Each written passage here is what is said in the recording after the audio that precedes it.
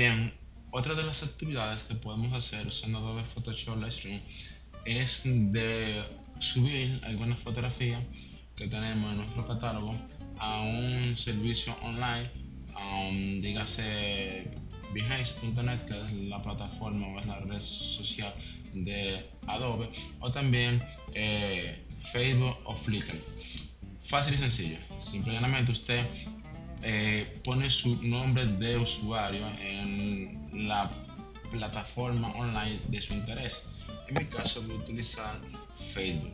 Bien, una vez que yo entonces pongo mi cuenta, autorizo, eh, digo pongo el álbum digital donde yo quiero que las fotos suban, simplemente ahora es con clic izquierdo arrastro y suelto la foto.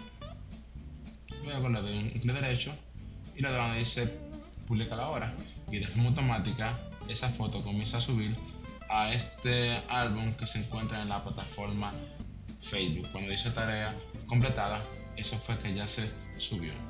Eh, vamos a ver si así, vamos a Facebook ahora para ver si se completó el proceso de subir.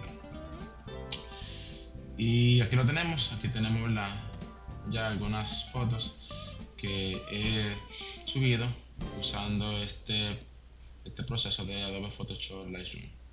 Bien, fácil y sencillo. Eh, vamos a ver otra para que vean que sí es efectivo y si funciona. Vamos a subir a esta, clic derecho ahora, publicar ahora y comienza a subir la foto. Una vez que dice tarea completada, pues volvemos a nuestra plataforma y le damos actualizar. Yo creo que sí, vamos a ver. F5. Y mira aquí. Esta fue la foto que yo subí.